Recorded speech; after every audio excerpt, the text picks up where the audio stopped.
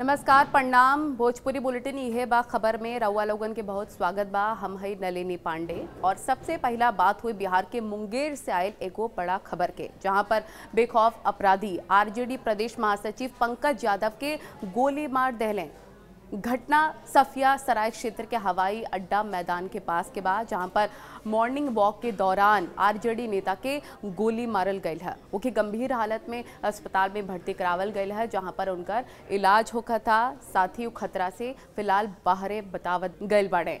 Bike चलावे वाले अपराधी के पहचान मिट्टू यादव और नमन यादव के रूप में हो गई बा। ई घटना के बाद से आरजेडी के जो नेता बांटे या कार्यकर्ता बांटे, खूब नाराज़ बाटे। आरजेडी के प्रवक्ता एजाज अहमद हमला पर काफ़ी ज़्यादा नाराज़गी जतवले। अब बिहार में विपक्ष के आवाज़ दबावे की कोशिश होत बा ई आरोप उनकर द्वारा लगावल गई है।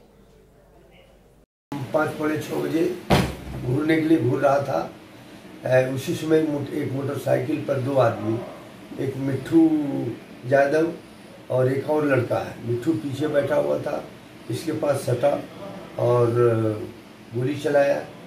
एक दो गोली थोड़ा हल्का हल्का लगा ये तो पेशेंट ही बता सकता। और एक एक गोली जब हल्ला हुआ तो फायरिंग करते हुए पश्चिम की ओर बिंदवाड़ा की ओर भागा। था कि राजद के सचिव, महासचिव हैं, कोई पंकज यादव, उनको मॉर्निंग वॉक के दौरान एयरपोर्ट के अंदर गोली मार दी गई है। और गोली मारने वाले व्यक्ति अपैची पे हैं। इस तरह का इंफॉर्मेशन आया। मैंने थानाध्यक्ष कासिम बाज़ार और थानाध्यक्ष सफिया सराय को सूचित किया और ये भी उन्होंने बताया कि वो नेशनल हॉस्पिटल ले जा रहा है और गोली जो है उनके सीने में लगी है। अभी हम डॉक्टर से और बाकी आम लोगों से बातचीत हुआ है उन्होंने बताया है कि आउट ऑफ़ डेंजर है और हम लोग इसमें तफ्तीश कर रहे हैं।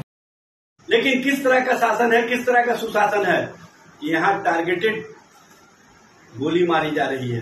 और वो भी विपक्षी दलों के नेताओं को, विपक्षी दलों के कार्यकर्ताओं के आवाज़ को दबाने का जो प्रयास चल रहा है, ये कहीं न कहीं स्पष्ट करता है कि बिहार में भी वैसी ही स्थिति और परिस्थिति पैदा करने का प्रयास किया जा रहा है, जिस तरह से उत्तर प्रदेश में है। शासन और प्रशासन लूज पूज है। बिहार में अपराध और अपराधी पूरी तरह से मस्त है। शासन, प्रशासन पूरी तरह से पस्त है।